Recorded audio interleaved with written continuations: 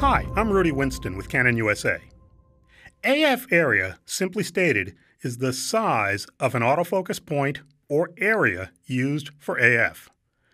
AF area control is not unique to Canon's EOS 5D Mark IV. But if you're stepping up from an older EOS model, you may not be familiar with these options. We'll give you some basic information about AF area options in this quick tip episode. All this applies to focusing using the 61 point AF system and viewing through the viewfinder. Live view and video AF are different, and we discuss them in separate quick tip videos. AF area can be quickly changed using the new AF area button on the back of the camera. This button can be customized so it will directly toggle through the options without first having to press the separate AF Point Select button. And you can also change AF area by pressing the AF Point Select button and then repeatedly pressing the Multifunction button on top of the camera. Changing the size of an AF point can be helpful in many situations. You can focus on one small, precise area of a subject or scene, or alternatively, use a larger AF area to focus upon more of a subject. Larger AF areas often make it easier to follow moving subjects, particularly fast moving ones, or subjects without lots of detail or texture. And you can switch from or into automatic AF point selection, where all 61 points are active and available. Here are the six possible AF area options. Single point AF. One AF point alone is used, allowing focus on small areas of a scene or subject. You can move it manually to any of the available AF point locations. This is the factory default setting for AF area in the 5D Mark IV. Single point spot AF displayed in the viewfinder as a box within a box. You still use a single AF point, but now an even smaller area for more precise positioning upon your subject.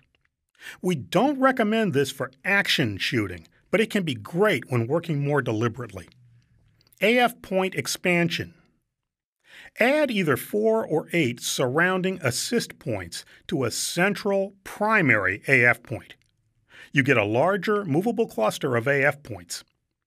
AF always begins at the primary central AF point. If it cannot get accurate information, the surrounding points are immediately accessed. This can be very effective with moving subjects. Zone AF. Another cluster of AF points, but this is different. All points are active, and the camera focuses with those points seeing the nearest subject within the zone. This is the same whether subjects are stationary or you're in AI servo AF with moving subjects. The cluster can be manually moved to any of nine possible locations. Large Zone AF.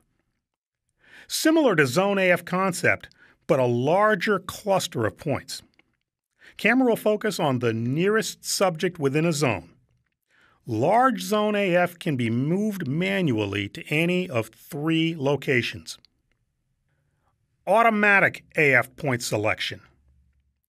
Immediately identified by a thin outline surrounding the entire AF point array. All 61 AF points are active, and the camera selects the active AF point or points automatically.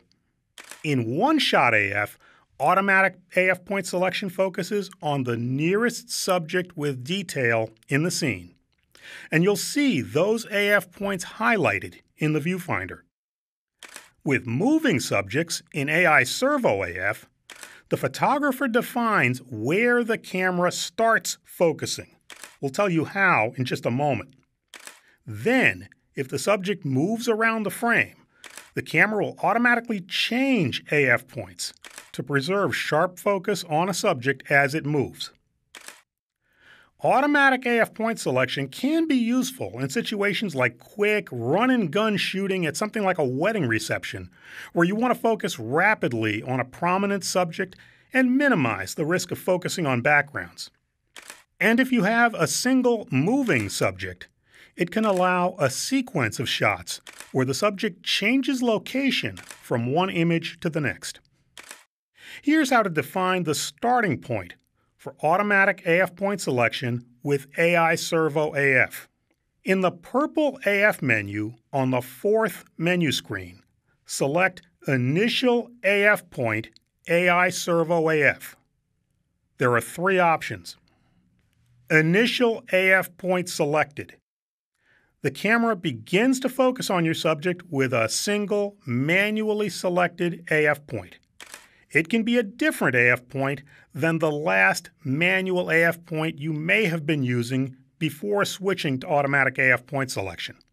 Manual with icons AF point.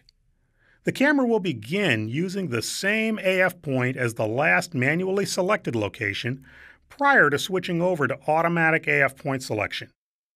You're free to move it anywhere else within the 61 point array. Auto. All 61 points are active. The camera will begin focusing on the nearest subject with prominent detail. AF point management is one of the strong points a modern digital SLR brings to today's photographers. The ability to not only move your AF point off center and over a broad area of a scene, but to change its size lets you match the AF system to the shooting situation and the subject, as well as your own preferences. With the AF area button, it's even easier to quickly adjust as you need to.